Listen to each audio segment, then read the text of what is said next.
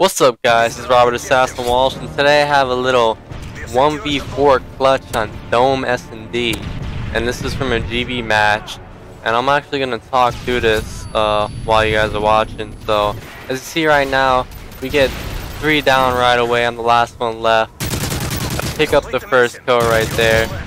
I knew there was gonna, gonna be at least one guy in my sight so once I got that kill you know I just wanted to play it safe I went back into the base, and with so much time left on the clock, you know, the best thing for me to do is, you know, just someone's playing greedy. Hopefully, I could pick them off. But in this case, no one pushed me, and yeah, I'm gonna pick up the bomb and try to make my way to the B bomb. Right here, um, I know there's probably gonna be a guy in the crossway. I didn't see that guy to the left. My teammates actually helped me out by pointing it out, and I picked up the kill the guy in mid is still there.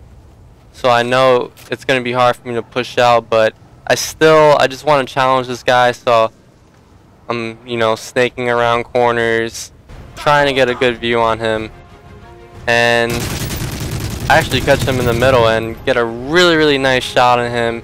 I did not stop shooting, and even though I had no cover at all, I still managed to pick up the kill. Since I just picked up that kill mid and made my way to B, I figured I might as well push to A since he, he might think I'm planning B. Uh, I check out every little corner I can, make sure he's not camping, make my way towards the bomb, plant it. My teammate actually has me on third person, so they actually point out that he's mid-map, going tunnel, and yeah. And uh, I'm gonna let you guys watch, see what happens right here little assassin hip fire action going on. And yeah, it clutched the 1v4 to tie the game 2-2. And if we lost that, we would have been down 1-3. And yeah, that's pretty much it for this little breakdown on my 1v4 clutch. Hope you guys enjoyed it. I'm out. Peace.